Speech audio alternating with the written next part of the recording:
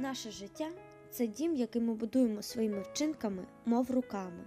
В дитинстві закладається фундамент нашої будівлі, тому що саме цей період не заплямований навколишнім середовищем і найчасніший по відношенню до всього.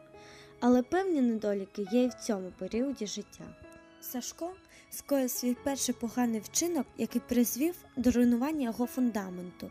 Все могло бути по-іншому, якщо б він розповів батькам правду.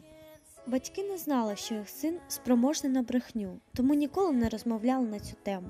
А Сашко зробив висновок, що якщо батьки не знають правди, не будуть його сварити, тому він обрав шлях брехуна. З роками брехня стала невід'ємною частиною його життя. Він замовчував погані оцінки, але коли почав палити, зізнався у цьому батькам.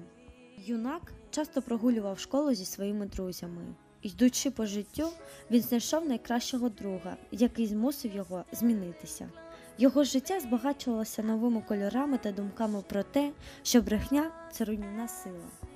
Вже навчаючись в університеті і маючи проблеми з одним із предметів, він замислювався про хабар, але все-таки зміг поратися з цією спокусою.